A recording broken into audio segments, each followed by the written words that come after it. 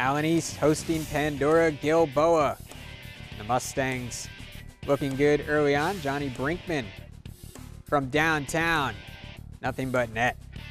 Now Payne Foster showing that he can hit the three as well. Steps back in the other corner and gets it to fall. But now Pandora Gilboa answering back. Jared Brees hitting the tough floater. Comes in and more from PG. Cooper McCullough.